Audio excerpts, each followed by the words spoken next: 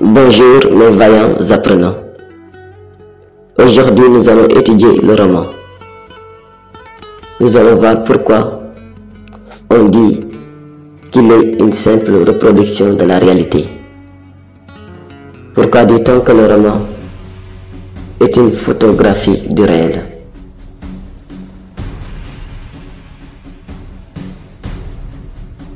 C'est parce que le roman raconte une histoire inspirée du réel. Comme le dit Stendhal dans Le Rouge et le Noir, au chapitre 19 de la deuxième partie.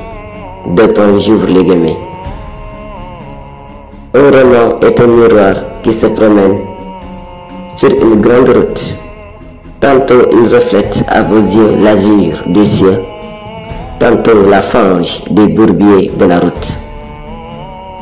Ainsi, pour plusieurs romanciers, l'œuvre d'art doit faire vrai, c'est-à-dire être vraisemblable, pour atteindre l'un de ces trois objectifs. D'abord, le romancier peut se révéler comme un moyen efficace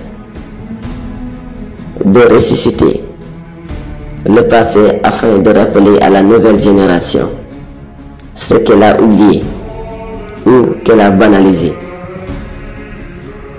Car quiconque connaît bien son passé gère bien son présent pour mieux préparer son avenir. C'est le cas de l'œuvre d'Ousmane Sembène, Les bouts de bois de Dieu. Un roman historique où l'écrivain de la négritude met en scène toutes les conséquences de la grève des cheminots de Dakar, Niger, en pleine époque coloniale. Ensuite, le roman est un cadre idéal pour les romanciers de reproduire leur propre vie. En effet, des romanciers relatent avec beaucoup de fidélité des événements dont ils ont été témoins ou acteurs.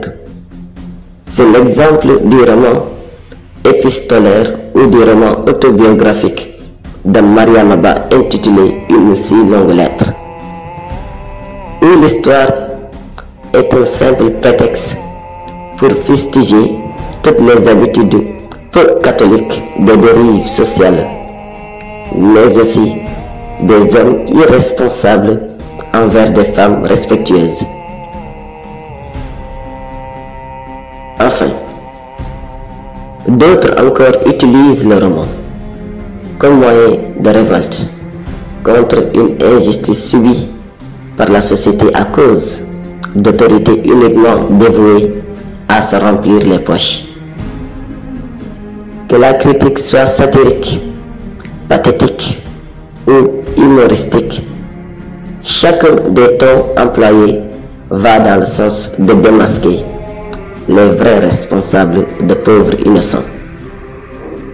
À titre indicatif, on se souvient des romans de contestation produits par des écrivains négro-africains, ou encore le roman social ou roman de mœurs des réalistes ou naturalistes, à l'instar d'Émile Zola dans son ouvrage intitulé Germinal,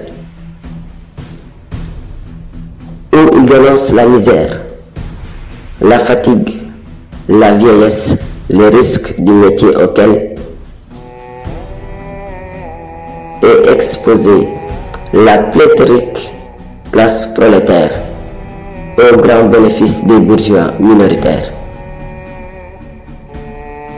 En mot, si ce n'est pas pour immortaliser le passé, ni pour parler de soi, selon des raisons diverses, c'est pour soigner nos habitudes quotidiennes que les romanciers s'inspirent de plus près du réel qu'ils tentent de restituer avec fidélité. Voilà pourquoi on dit que le roman est une photographie du réel, une reproduction de la réalité.